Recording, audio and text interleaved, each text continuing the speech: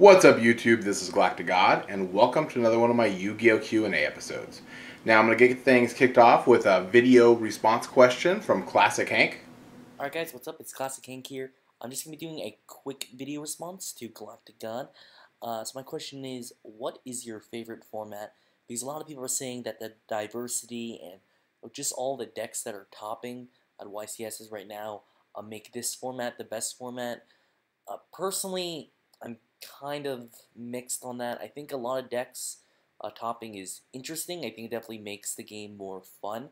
Uh, I'm not sure if it makes for the best game though, uh, because there are still some decks that have more of an advantage over others. There's still, you know, issues with like, you know, bad matchups, good matchups. It it becomes less of a matter of skill, I think, it and more, you know, what kind of matchup you're getting. But yeah, I love to hear what you think.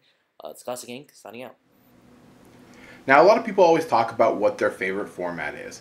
Uh, a lot of YouTubers bring up, you know, the Go Control format. They bring up Teledad.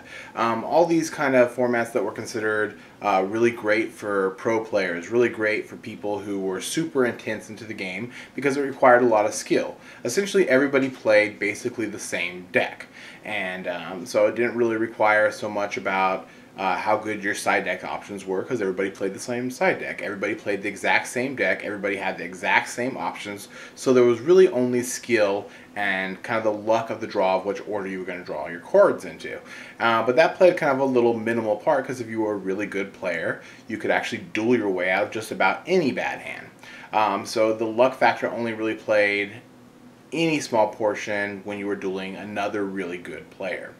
Um, with that kind of all said, uh, to me, my favorite format, you know, always goes back probably to the first format that I played in, which was before BLS and Chaos Emperor Dragon and all these kind of busted ass cards came out. I've been playing the game for an extremely long amount of time. And for me, when I think of Yu Gi Oh!, when I think about, you know, my favorite format, when I think about when I had the most fun playing, I always think about to when I started. When I started playing Yu-Gi-Oh! when it was still uh, very new and very uh, uh, I don't know when I was very noobish into the game and you know I, I did cards with you know I, I made noobish mistakes and read cards wrong and uh, you know dueled incorrectly. That to me um, was probably the best time playing. Uh, since I learned the game though uh, and become you know more competitive, become more into the game, become more into how the game should be played and how the structure of it is. I've always found, um, I don't know. I guess my favorite format was probably. I don't want to say this format, although I do personally like the diversity of the format. I like the fact that when I go to an event, I'm not going to play the same deck over and over again. I like the fact that when I go anywhere and play, or even if I go on DN and play, it's not the same deck over and over again. I like diversity in the format.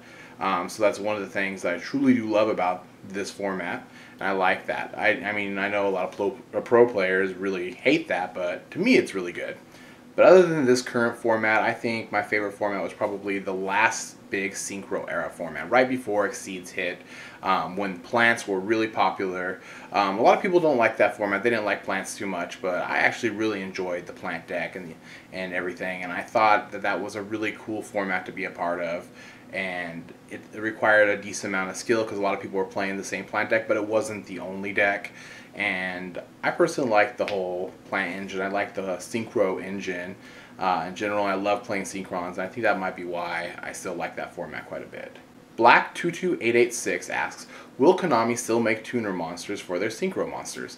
Um, and I don't think they're going to continue to make tuner monsters. A lot of the tuner monsters we see released in our new TCG sets or um, OCG imports, meaning they had already come out in the OCG for quite a while, and we're just now getting them here in the TCG and then of course our TCG exclusives, which you know the guys over here come up with for you know our TCG stuff, and um, then they just kind of import them over there. But I think for a core set itself, I can't imagine them coming up with any more tuners, um, any more synchros really. Uh, it's just hard to think that you know with Konami wanting to push synchros out that they're going to come up with new tuners to help synchros. Because Shadow and Yusei asks, if someone was to ask you to help them become a big in Yugi tubing, would you help them Um, or would you only help them if you thought that they showed potential and they were really trying on their channel? I try and help as many people as I can. I know a lot of people um, want to be become bigger YouTubers, want to get really big in the YouTubing community. It's a, a dream that a lot of people have, and um, being a YouTuber and a bigger YouTuber is actually really cool. It's really fun. You know, it's a lot of work, but it's it's awesome being uh, you know a, a bigger YouTuber. I think. Uh, I try and help as many people as I can. I do like uh, YouTubing shout out videos where I showcase their channel and uh, you know kind of give them a second to you know show what they have to offer to the community. I do subscriber showcases. Uh, those are for people whose channels I've already been watching for uh, a while myself. Uh, they they range from smaller channels up to the really bigger ones. Um, just kind of that's kind of a showcase that you know sub count doesn't really matter for the content of the channel. You know, or at least when people judge the channel, that big channels are just as good as small channels, and um, you know I try and range it like that. I've done you know interviews and stuff for smaller channels as well as bigger ones. And but to kind of answer your question uh, i try and help as many people as i really can. Um, you know there's only so many hours in the day and, and much of my day is taken up with other things with school work and all this stuff that i have going on. Uh, you know plus i try and post up daily content as well that you know there's only so much you know time i have to give to people. But you know that said i do enjoy trying to help the smaller channels. I do trying to help anybody that kind of comes to me and asks me to like, hey, can you take a look at my deck, or hey, can you uh, take a look at my channel, or take a look at this video, or can I get a shout out? I try and respond to as much as that I can, trying to do as much as I can. But one of the the big things that I think you know that I hold as kind of a requirement is that you are a consistent poster on your channel. I don't like subscribing to channels myself who only post up videos like once a month or something. Um, usually I end up unsubscribing to those people because you know, I want to see videos. I want to, I subscribe to you, I want you to actually post. And if I'm going to help someone, I want them to be consistent. And that's kind of really the, one of the major requirements that I have. Sporks14 asks, have you ever tried Dino Rabbit or would you ever consider playing Dino Rabbit? Um, I've actually never played uh, myself, played the Dino Rabbit deck in real life. I don't actually own Kabazauls or Sabersauruses. And it was kind of weird. I owned every other part of the deck, all the expensive stuff, uh, but the common, normal, vanilla monsters I don't own. Actually, I don't own a playset of each. Actually, I have own one Kabazaul and one Sabersaurus, but I don't have a playset, so I can't really play Dino Rabbit. Uh, I mean, it can't be that hard to go out and get the cards; they're too expensive. But the deck is really looks, you know, really cool and really fun. But I've never had a burning desire to play it. Typically, a lot of decks that are super meta.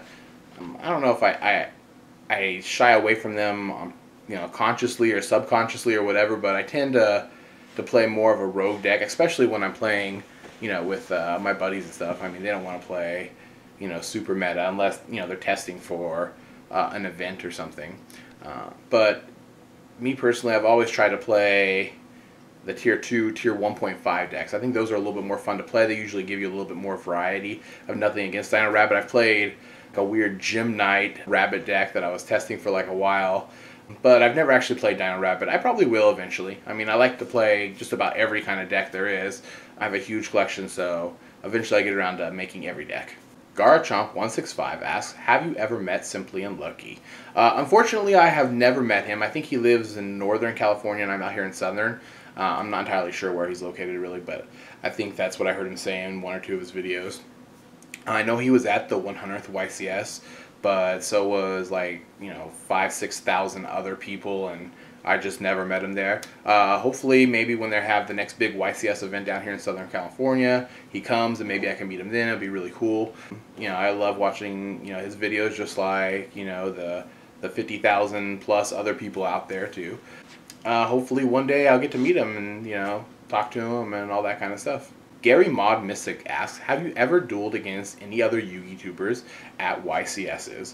I've only been to like a handful of YCSs and the last one I went to was the one in Long Beach down here in Southern California, and I didn't actually duel against any Yugi tubers. I did meet quite a bit of them that were there. You know, Slim X Team Symmetry. I got to meet Crow Cresta, Underworld 6667, Draco DMD, Vayu Enthusiast, uh, Mecha Jayun. A lot of people that I got to see and meet there was really kind of cool, but I didn't actually duel against them. Uh, I was hoping maybe to take the Crow Cresta Hero Challenge, but that didn't happen either. Uh, it was cool getting to meet a bunch of them. I have dueled quite a bit of Yugi tubers on DN, uh, which was really fun. Um, always like uh, you know dueling them.